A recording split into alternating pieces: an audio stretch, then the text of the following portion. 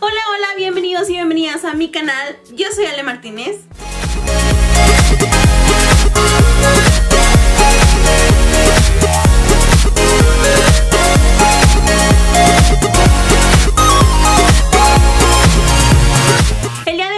Tutorial paso a paso sobre este maquillaje que podemos utilizarlo perfectamente para el 14 de febrero o para cualquier otra ocasión. Es un maquillaje muy usable que se ve en tonalidades rositas, entonces se ve como muy romántico, me gusta muchísimo. Así es que si quieres ver cómo realizar este maquillaje, te invito a que sigas viendo. Y bueno, yo ya traigo mis cejas hechas. Eh, si quieren ver un video específicamente de cómo hago mis cejas, se los voy a estar dejando por aquí o en la parte de abajo en la cajita de descripción para que pasen a verlo. Para empezar voy a estar utilizando este corrector de la marca L'Oreal. Este es en el tono vainilla y lo voy a estar utilizando para lo que son mis párpados como primer. Y lo voy a estar difuminando con esta esponjita que es de la marca Elle.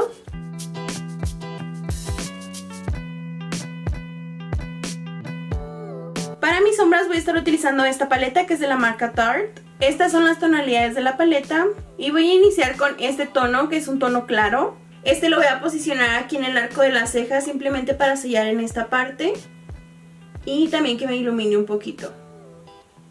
Voy a tomar este tono para hacer mi transición. Este tono lo voy a aplicar con una brocha para difuminar. Primero voy a estar posicionando el color como a toquecitos, sin difuminar. Y ya después ya nada más voy a empezar a difuminar las marcas.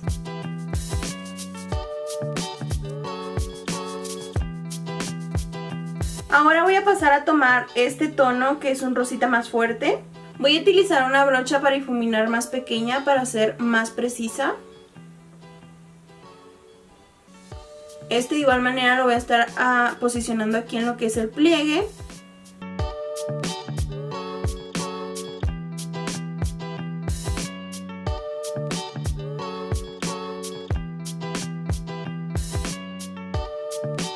Con este tono un poquito más oscuro voy a estar dando profundidad.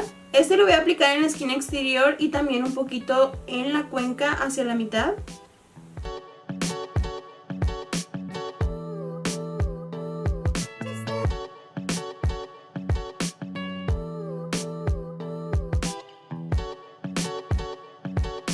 Voy a tomar el corrector líquido con una brocha plana y lo voy a estar posicionando aquí en la línea de las pestañas a manera de delineador. Ya saben que esta es la forma en donde me ayudo más a hacer un cut crease, entonces lo único que hago es ver hacia arriba y se marca justamente en donde tengo que limpiar mi párpado.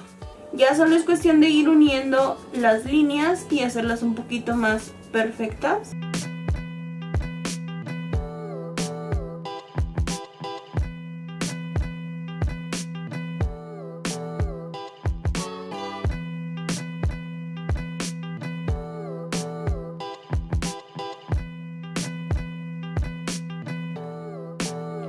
Voy a estar utilizando esta sombra individual.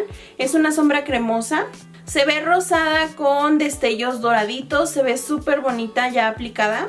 La voy a posicionar justo donde apliqué lo que es el corrector. Estoy utilizando una brocha plana y la voy a concentrar solamente en esta zona.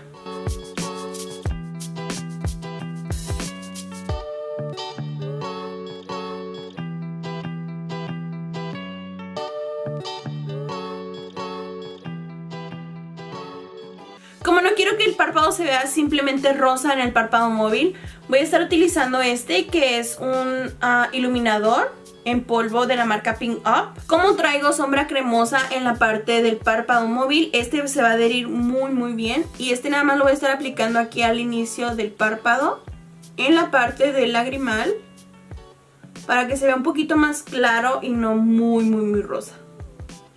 De igual manera tiene el fondo rosadito pero lo aclaramos un poquito.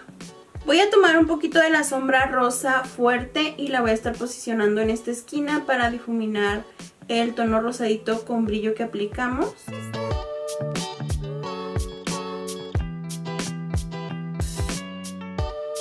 Para delinear mis ojos estaré utilizando este delineador líquido de la marca Italia.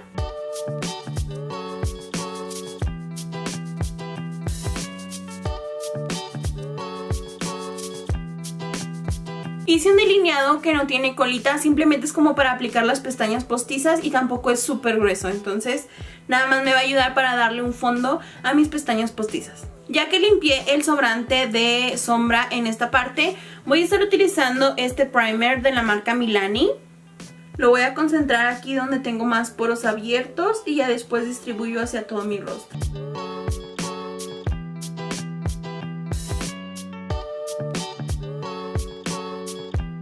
De base voy a estar utilizando la de Beauty Creations en el tono número 2.0.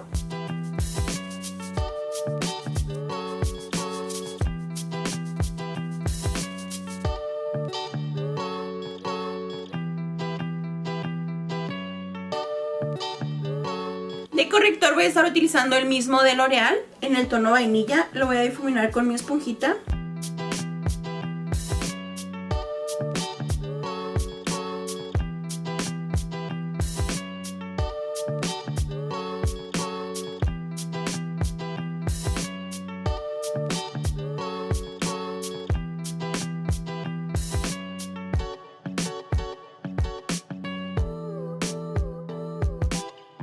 Voy a utilizar este contour en crema de la marca Milani y también lo voy a difuminar con mi esponjita.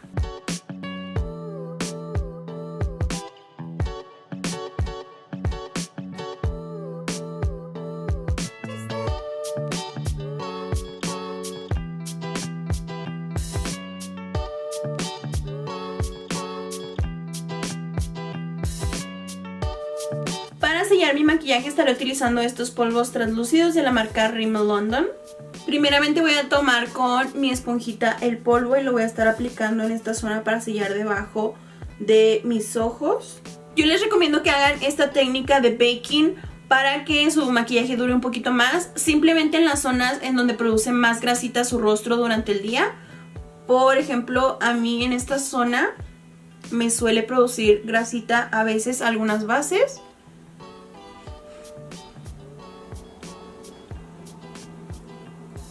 Prácticamente en lo que es la zona T. Depende del clima, también depende de mi piel. Entonces, por lo general, aquí a un ladito de las fosas nasales es donde más se produce grasita y un poquito en la frente también.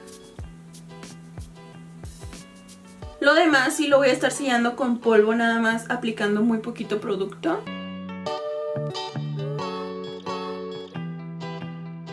Y ya que pasó un poquito de tiempo, ahora sí voy a retirar el polvo y lo voy a distribuir en lo que falta de mi rostro.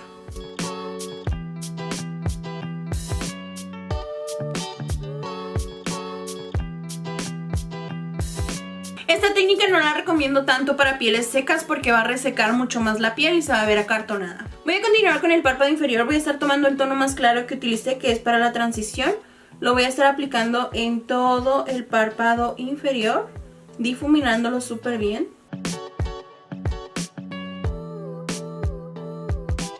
Después el rosita fuerte lo voy a estar aplicando de la esquina exterior hacia la mitad de mi ojo.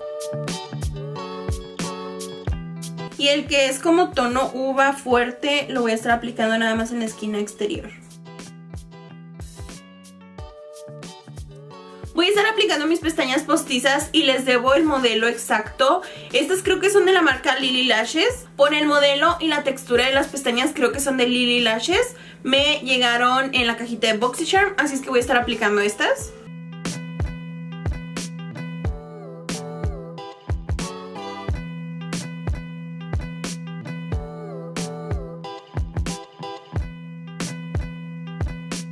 Para el contorno estaré utilizando esta paletita de contornos de Bisú. Esta es la paletita 01, voy a estar tomando el tono del medio que últimamente se ha vuelto mi favorito. Me encanta cómo hace el contorno.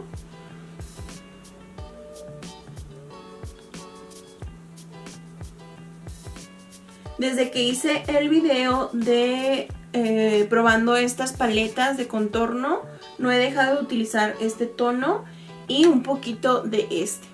De rubor voy a estar utilizando este que es de Bisú en el tono natural.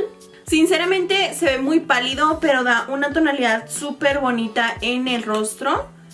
Quiero que vean la tonalidad que da. Me gusta porque es como muy natural. Vean, se ve súper, súper lindo. Me encanta la tonalidad y me fascina, me fascina.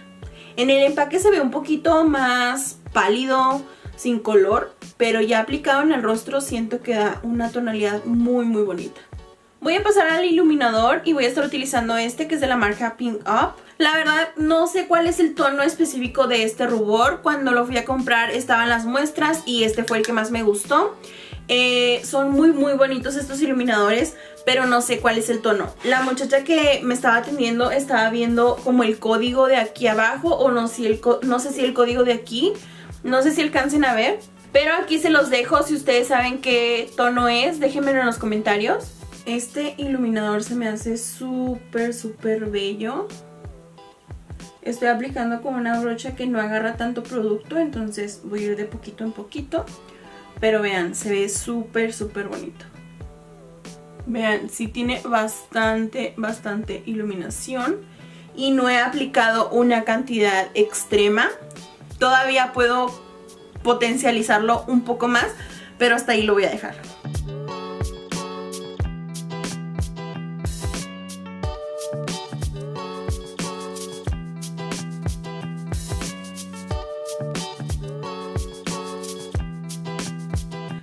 Esta máscara de pestañas de la marca Prosa. Esta es una máscara de pestañas nueva que sacaron con cepillo de silicón. También hay una rosada y una morada me parece, entonces si quieren que las ponga a prueba, déjenmelo en los comentarios. Ya pusimos a prueba las eh, máscaras de pestaña que son con cerdas normales, que no son de silicón, pero esta sí, el cepillo es de silicón. Entonces si quieren un video específico sobre estas máscaras de pestañas, déjenme en los comentarios. En la parte de arriba simplemente voy a aplicar para que mis pestañas agarren un poquito de color. Y en la parte de abajo sí voy a estar aplicando de una a dos capas para que se noten un poquito más mis pestañas. De labial voy a estar utilizando este de Milani en el tono número 11.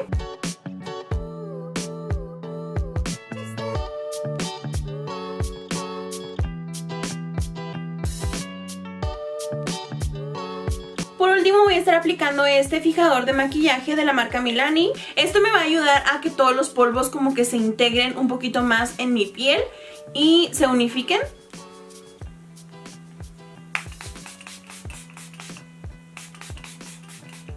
Y bueno, así es como quedaría el maquillaje.